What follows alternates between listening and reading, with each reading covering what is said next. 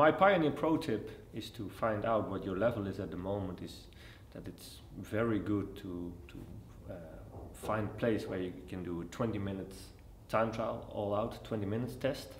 That's a nice time to to see what the level is. Longer is not necessary. Shorter anaerobic capacity has more influence. So 20 minutes is uh, reliable.